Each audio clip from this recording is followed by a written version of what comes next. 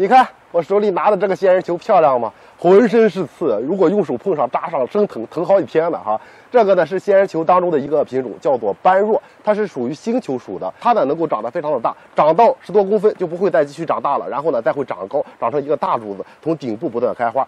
它跟我们知道鸾凤玉、星都之类的都是属于星球属的，是属于一种一年可以多次开花的品种，只要温度不低于十五度就可以了。那么对于我们买到大球，应该怎么去上盆呢？因为大球如果上盆不得当，它自己底下就会烂掉，最后整个球烂掉，非常的心疼哈。所以小七告诉你一下怎么去栽种。首先，这种大球无论是买到的还是自己去移移栽换盆的，把它的根全部剪掉，只保留粗根，然后放到一个可以见光的位置晾。晾多久呢？对于小球的话，我们晾一周、两周都可以。但是这种大。球建议晾半个月到一个月的时间，一定要去使劲晾，要见光。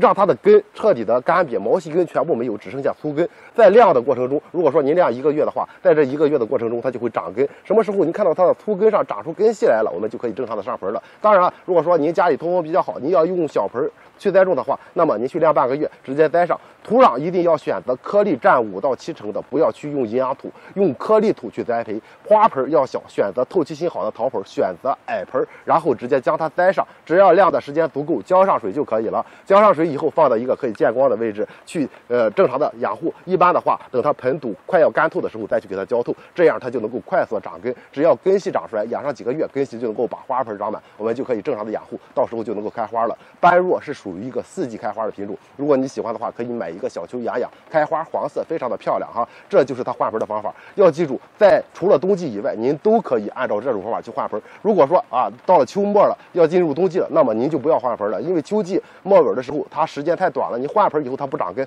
换上以后有可能导致土壤湿润，出现烂球的情况。选择在生长季节，比如春夏，到了秋季，刚刚进入秋季的时候都可以换盆，只要不是临近冬季都可以。你学会了吗？这就是换盆的方法，按照这种方法操作，您换盆绝对会成功。因为我是刚刚拔出来，没有晾太久，所以说先去拿着给大家说一下，然后呢，后期我会栽种上，再去晾上半个月吧。栽种上以后，它就能够开色生长，明年的时候开花，我再给大家做视频哈。